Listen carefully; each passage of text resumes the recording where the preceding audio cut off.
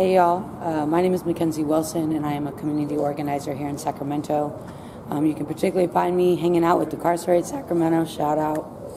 Um, I give thanks to the People's Budget for having us gather here today. Uh, the truth is, is that we do need to bear witness and shine light on the awful things that this city and this county do on a daily basis. I think I'll speak from my own personal experience, having having, intera- having interacted with local law enforcement here on many occasions throughout my career as a community organizer.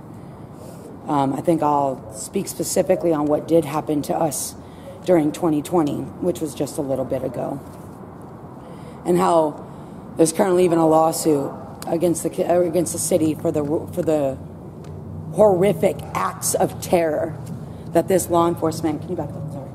Um, that this that the um, terrific acts of terror that this law enforcement um, enacted upon myself and many members of this community.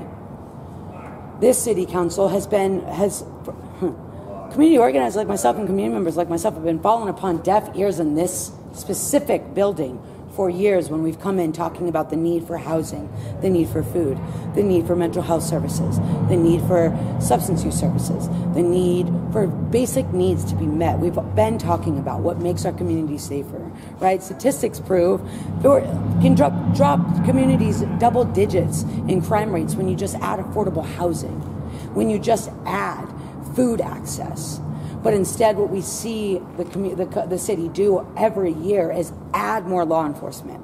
If adding law, more law enforcement solved the problem of crime, then I would, I would, I would want to argue that I, would be, I should be living in the safest city. I should be living in the safest county when 72% of my county budget, when, I, when similar numbers from the city is given to law enforcement. I'm not living in a safe city. I'm living in a hungry city.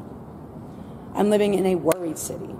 And I'm extremely worried that we're giving $220 million to law enforcement this year when, when people who worried came out into the streets in 2020 to talk about everything that was wrong from killing black people to the fact that you all left us in our homes and that we're about to get kicked out of them, that we're hungry. Like I saw what your law enforcement does to people who came, who come out worried about their lives. It makes no sense, and I do expect better. But again, the city council and all of these actors that have sat in these seats for years have been listening to this, have been doing these things to this to this city for a long time. So what's going to be needed are folks like yourself, folks who are listening, folks who are watching. When time comes for you to show up and show your force, show up. You know, I say that even though I had my ass handed to me and and many members of this community almost died during 2020 but it can't keep us from showing up. It's actually the reason that they get to do this shit at home and make these decisions at home while we stand outside. And when we do show up in mass, they put metal detectors and large guns at the doorways because they anticipate letting you starve. They anticipate killing more black folks. They anticipate us going out, living outside.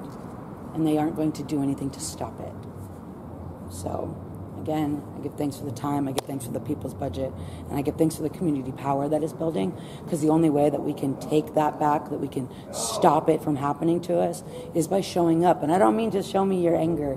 Don't bring all that too. Bring the thing, that love for your community, that, that want of something different, your ideas of change. Bring, bring that hope for a better future to the people's budget and to the folks doing that work. Thank you. Please.